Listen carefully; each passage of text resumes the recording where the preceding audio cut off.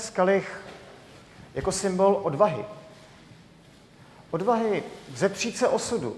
Odvahy všimnout si, že tak, jak věci jsou, nemusí být to, jak mají být, jak mohou být.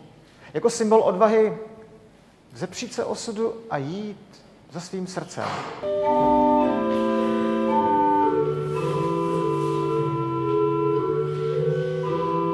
My teď, dnes, budeme křtít knihu Ženy proti proudu. Tahle kniha je věnována právě konkrétním ženám, jejich konkrétním životům, kdy se oni nějakým způsobem vzepřeli osudu, podmínkám, situacím, tradicím a stali se kvasem. Kvasem, který reformoval, který měnil, proměňoval. Jsou to unitářské duchovní, nebo ženy, které patří zkrátka nějak k tomu našemu proudu, a tak o nich ta kniha je.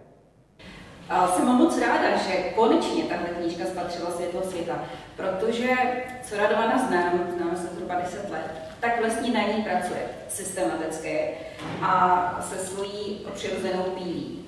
Tak konečně vlastně držíme v ruce výsledek.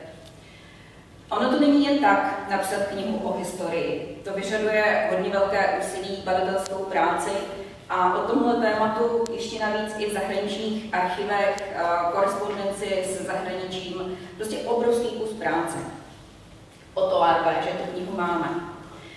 Navíc v našich řadách není příliš historiků a tak těch publikací k dějinám unitářství, které jsou napsané českými autory, byste pohledali opravdu málo. O to lépe, že můžeme zařadit další z nich.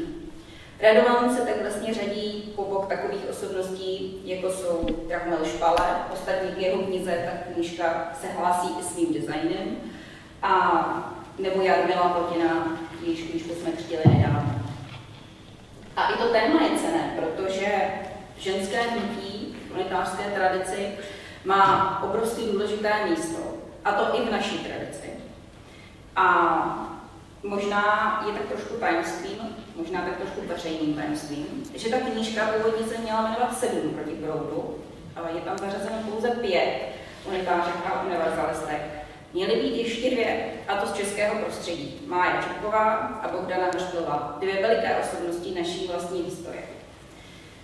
Protože to vyžaduje další a další práci, Radovan se, myslím, velmi správně rozhodli ty knihy rozdělit. A ta knížka je i o naději. O naději, že za nedlouho doufám, spatříme světlo světa další a ta bude o těch našich dvou ukazatelkách, taky velmi důležitých. Takže to jsem chtěla za nakladatele připomenout. Nechci vyzdvihovat na, na tuhle chvíli nakladatele, protože Radovan jako autor má ještě tu výhodu, a pro nakladatele obrovskou, že si je i sám výborným redaktorem. Takže práce na té knize pro nakladatele je tak nulová. Víc takových autorů. A opravdu za tu knížku velmi děkuji.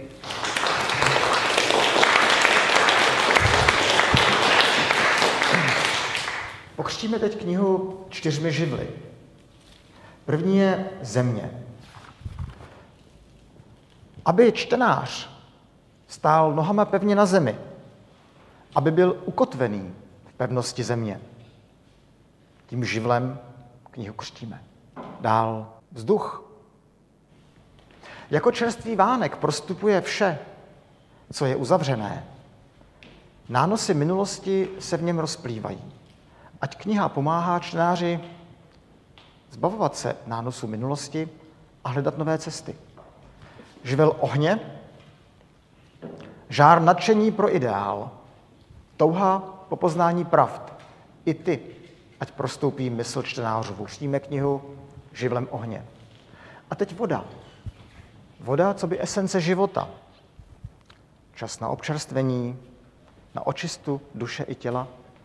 Tak jako se v přírodě tyto čtyři živly prolínají a nacházejí svůj smysl ve vzájemném vztahu, tak ať žehnají i této knize, aby ta kniha v nás mohla vkládat jistotu, smysl a cíl. Jdi světem širým kniho. Jdi vstříc lidem otevřené mysli, toužícího srdce a vdělého svědomí. Promluv s výdavem, oslov chtící, potěž zarmoucené a těm, kdo jsou až příliš sebejistí, pokoru připomeň. Neboť nikdo nezná pravdu prav, a i ty knihy to potvrzují. Dala si prostor autorovi, aby skrze tebe v upřímnosti srdce a vypjaté mysli promluvil a sdělil poznatky ze své cesty za poznání.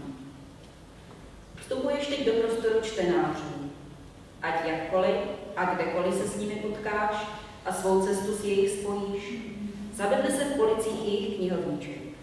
A když čas přijde, zasvětím jasným světlem dobré myšlenky. Jdi širým světem knihu.